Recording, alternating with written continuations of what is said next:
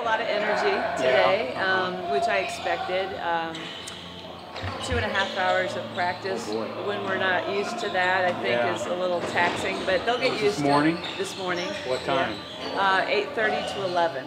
Yeah. So they also have to wake up and be alert.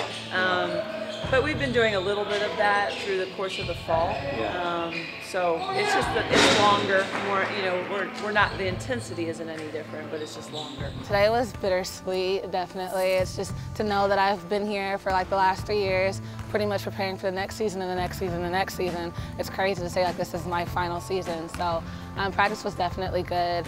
Um, I see a lot of potential with this team. The girls we have can definitely go.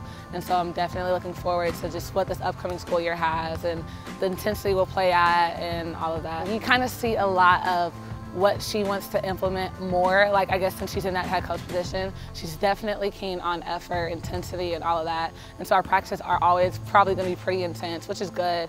I feel like that'll help us. It is exciting. Yeah. yeah just um, I, you know, the neat part about this is I've been here for four years as an assistant, so I'm familiar with the school, the program, and where you know, just kind of have a pretty good feel on where we need to go.